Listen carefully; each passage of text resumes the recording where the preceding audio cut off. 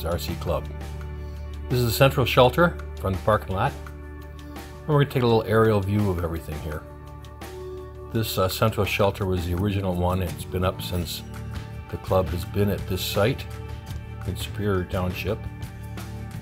And um, the runway runs east and west, so you are looking north.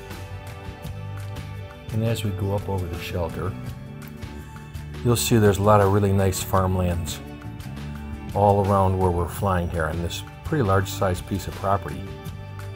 Uh, what's nice about that is there's not many people to disturb with uh, any sounds that the larger planes or the loud jets might make.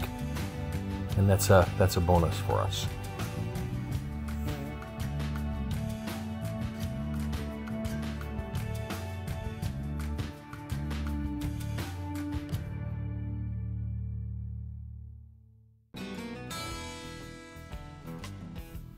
As we move up higher, looking towards the north of the farmland, if you look over to the east here, as the camera comes around, you can see the road that we drive in to get into the flying club.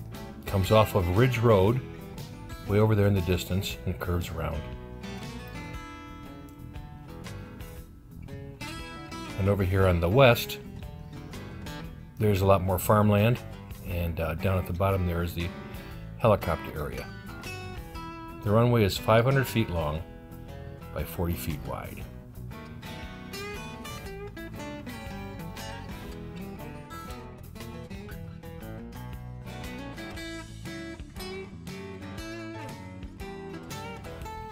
Taking off north of the central shelter, over the runway, you're looking south right now, and as we climb up, you'll get a good view of the uh, entire piece of property, which is oval shaped.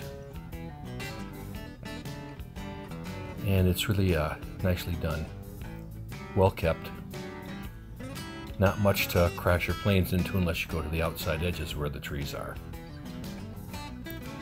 The morning crew is starting to come in right now.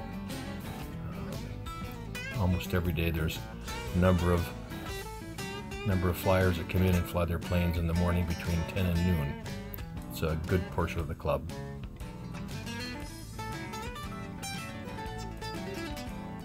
We're up about 150 feet.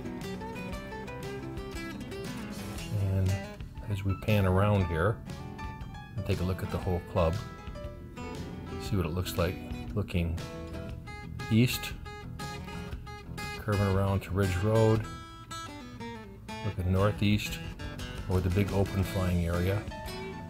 There's northeast, uh, Cherry Hill City is there. There's the north, more farmland.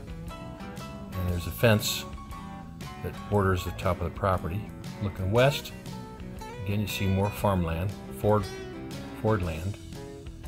And coming back around to the southwest, uh, there's a community south of Geddes Road.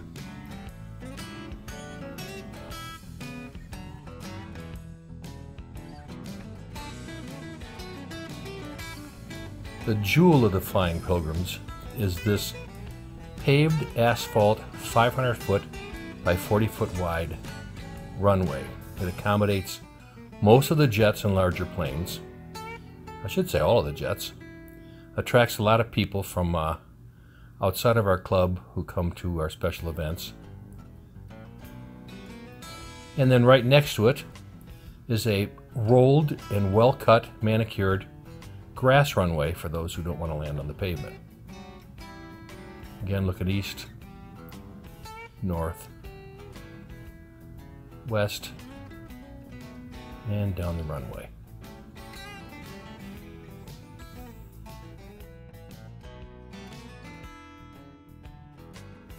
Coming in from the southwest is the helicopter area with two helicopter pads. It's on the west end and south of the runway so that the helicopters out of the flight line of the planes. Uh, you can see the large copter pad there, and to the lower right, the smaller, earlier one that we had. It's a flat area. Uh, looking over that one larger pad, you can see there's a table there for the helicopter pilots and on this west end of the runway. They can fly here with uh, the copters that don't follow a pattern and uh, not interfere with each other as far as the planes and the helicopters are concerned.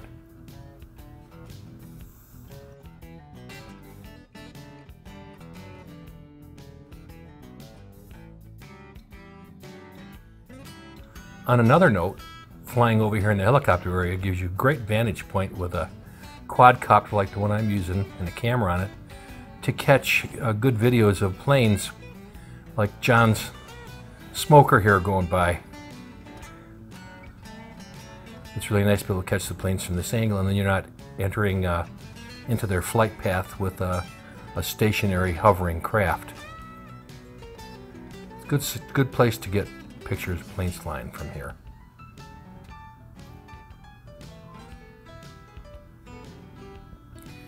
And then sometimes somebody else has a vertical takeoff plane, such as uh, Mike's uh, vertical takeoff uh, convergence here.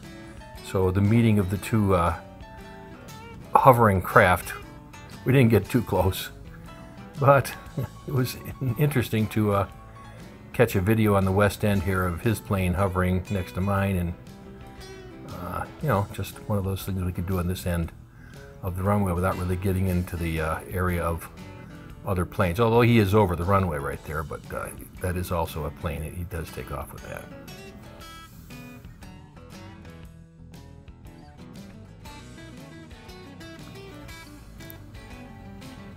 The AMA ruling that says that we should be flying at under 400 feet, uh, and the F, FAA also says the same thing, uh, brings to my mind the question of just how high is 400 feet.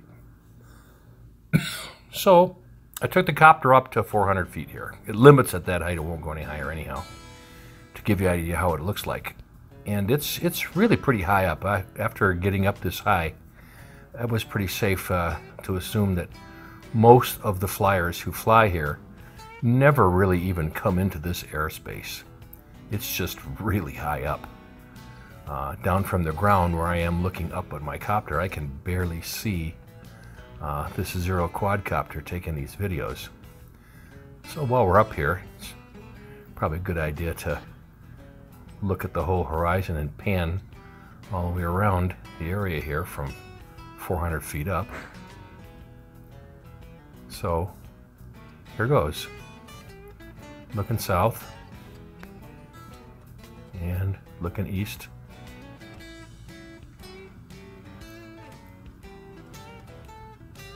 And looking north, the farmlands. Back around to the west. And then there's a community on the south side of Geddes Road. More farmland behind us. Anyhow, now you know what our, our club looks like. And the last thing that we put in the club, we're approaching right now as we head off into the west, flying away into the sunset, is uh, our new east end shelter, a metal shelter that we put up on the east end, just to give us more capacity for flyers to take off from. There are four taxiways coming off the main runway. And this east end shelter, as you can see by this plane sitting here, is where the big boys fly.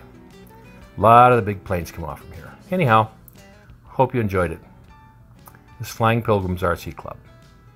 Thanks for watching.